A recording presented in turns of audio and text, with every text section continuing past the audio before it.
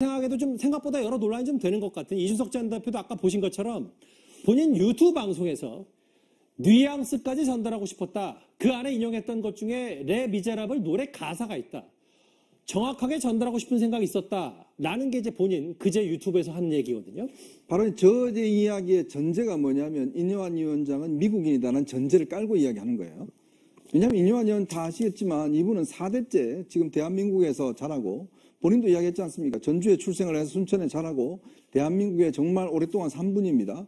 어, 이준석 대표보다 더 훨씬 더 오랫동안 대한민국에 살았습니다. 만약에요, 우리나라 지금 2015년 기준으로 다문화 가정의 자녀가 20만 명이 넘습니다. 예. 자, 그러면 아프리카나 동남아나 뭐 등등에서 온 자녀들한테 만약에 제가 그 나라 이야기로 이야기를 했다 그러면 그게 그 사람들한테 어떻게 들렸을까요?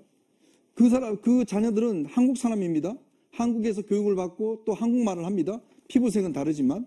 근데 그 자녀를 생각, 대상으로 해서 영어로 이야기를 하고 아프리카 이야기로 하고 동남아 말로 이야기한다 그러면 그 학- 다문화 자녀들이 받을 상처가 어마어마할 겁니다. 만약 미국 가서 우리나라 이 교포가 거기에 태어난 분이 영어 아니고 한국말로 이야기한다 그러면 그분이 갈 수 있는 상처가 얼마나 클까요? 그걸 뻔히 알면서 뻔히 알면서 바로 앞에 놓고 미스터 린턴이라고 이야기를 했다는 거. 저는 이거는 뭐냐면 결국 당신하고 나하고는 다르다. 나하고 당신하고 이야기할 필요가 없다. 당신은 외국인이다. 나는 한국 사람이고. 이 전제 아니겠습니까? 자, 그런데 무슨 저렇게 변명을 하고 있죠? 저는 정말 기가 막힌 게 저렇게 물론 본인의 영어 실력을 자랑하고 싶은지는 모르겠지만 그러나 이뇨한 위원장은 누구나 다 아는 이분은 한국 사람입니다. 한국말로 이야기하면 더 정확히 알고 있죠.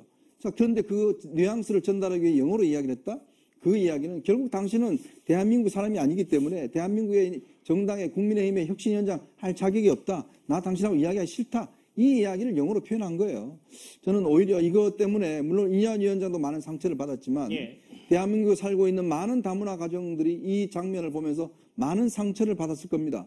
특히 우리 손흥민 선수가 외국 가서 어, 동양인이라고 많은 저 이 저 뭡니까 이 비하를 당하지 않습니까? 그때 손흥민 선수 어떻게 하죠? 그 관중을 쏘아 봅니다. 그 많이 개- 개선이 됐어요. 그런 건 마찬가지라고 저는 생각이 듭니다.